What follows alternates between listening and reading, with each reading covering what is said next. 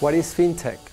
Fintech is a contraction and combination of finance and technology, referring to companies that use technology to offer innovative financial services that are more often accessible or less expensive than traditional banks.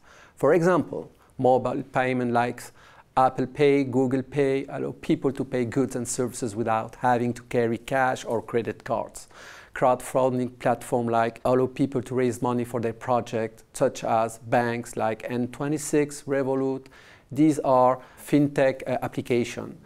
So as example, you have PayPal, uh, Apple Pay, as crowdfunding, you have Ulule, Kickstarter, as online banks, you have Revolut, N26, and all those nano banks, neobanks, and online lending such as Lending Club and Prospers as well asset management applications such as Wealthfront, Robinhood, and other as insurance like Lemonade and Oscar. So fintech is booming and it's transforming the financial industry. It aims to make financial services more accessible, efficient, and often less expensive by using technology to simplify transaction and financial process.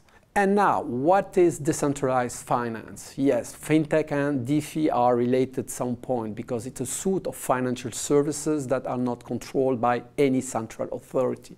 It used the blockchain technology to create financial applications that operate without intermediaries such as bank, financial institution, or governments. It's a suite of financial services that are not controlled by a central authority. It used the blockchain technology to create financial applications that operate without intermediaries such as bank, financial institution, or even governments.